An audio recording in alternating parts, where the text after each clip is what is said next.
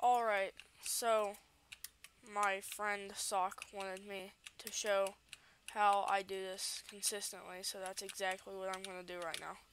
So, I kind of just try to avoid the big circles and holes so that I can actually get past it like that. Then I go here and I find a safe spot and then I wait. Then I go again, walk in between the tight spaces, jump over the tiny holes. Then I go through here about when that gets here and then I just jump and then I'm here. So I hope that helps you in some sort of way. If it doesn't, then I'm sorry and I can try and figure out how to help you a different way. So.